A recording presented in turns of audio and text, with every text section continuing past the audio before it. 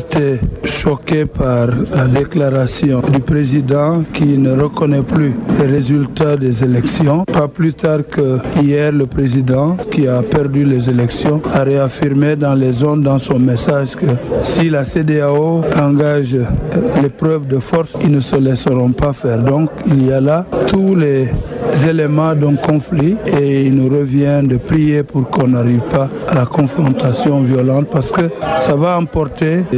Il faut que celui qui a perdu les élections puisse faire preuve de raison pour qu'il puisse aider le pouvoir et permettre à celui qui a gagné de continuer parce que l'État est une continuité et cela évitera une violence inutile.